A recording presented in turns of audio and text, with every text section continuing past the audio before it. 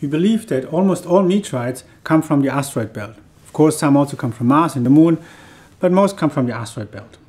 Now, one important piece of evidence for this belief that these come from the asteroid belt is the orbits of some of the meteorites that we obtained by triangulating the trajectories of the meteorites that fell on Earth back into space. And this is what is shown here on this plot.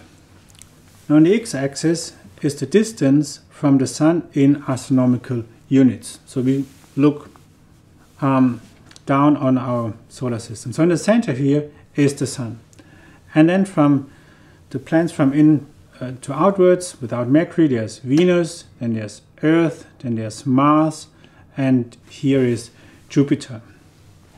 And all the little blue dots in here, all these here are the asteroids around.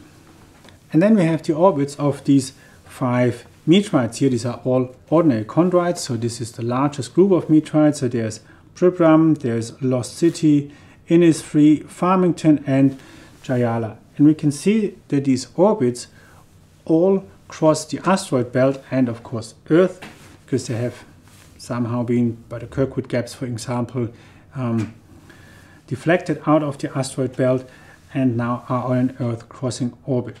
But importantly, all these, all these uh, meteorites have their origin in the asteroid belt and this is direct and very good evidence that the ordinary chondrites and likely all the other chondrites originally come from the asteroid belt.